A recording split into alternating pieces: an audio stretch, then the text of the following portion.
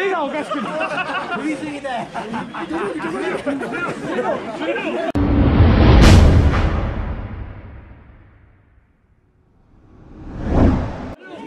で吹いちゃうんだ。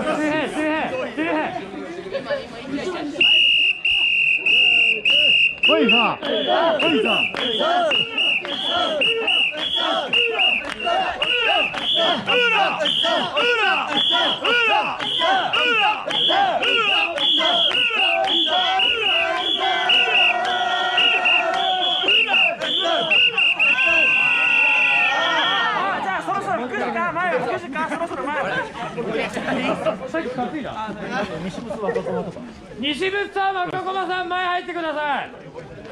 西仏若駒あと椎間東海さん池袋椎間さん風さん俺の力あるの分か。るけど椎間さんあと前行ってないか。いますいないですね大体収まったと思う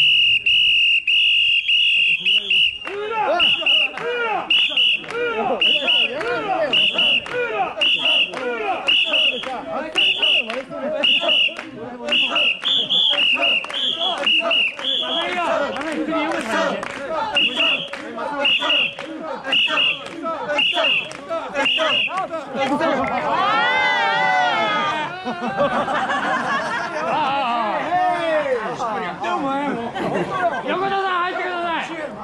新和会さんシーマ会さんシーマさん入って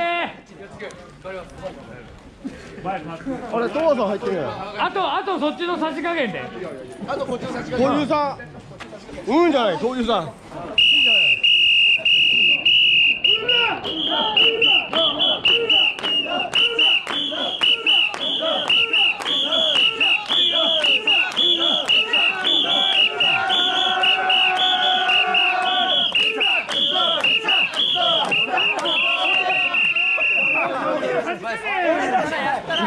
お前やったな。やったな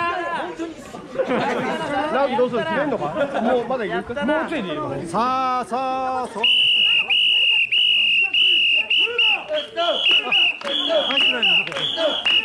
あラム最後だから入るんだよ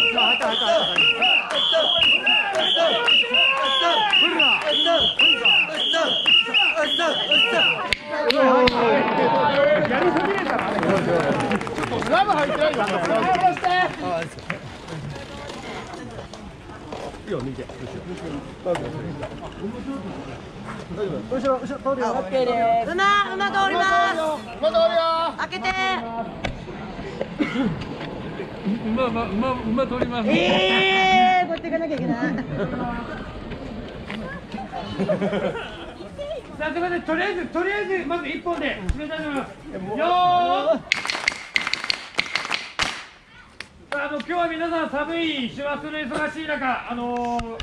第2回福寿祭りということで、えー、多数お集まりいただきまして本当にありがとうございました。実はあのこれがですねあの一昨年に市川市のあの農産祭水産祭りだかなんだかってなんかあの行徳の公園でやってるのが 市川市からの要請でこのみこし出したんですけどもちょっと去年から去年もやるつもりがちょっとそれがうまくいかなかったっていうことでちょうどあの福寿が1周年ということでじゃあ地元で出しちゃおうかっていう軽い気持ちから去年からスタートしてるんですけれども、まあ、ちょっと12月皆さん忙しい中でもみこしがない中でこんな小さいおみこしでもちょっと楽しかったと言っていただけて、まあ、今後も続けていけたらいいなということで今年もちょっと開催させていただきましたでまたあの今日特にですねあの多数お集まりいただいてなんか思った以上に車も通っててちょっと一件苦情が来てしまったってことで実はおまわりさんが来て怒られたんですけどもまあそんな中でもですね無事トラブル怪我なく、えー終われたこと、えー大変感謝申し上げます。本当にありがとうございました。でまたですね台本書いてねえわ。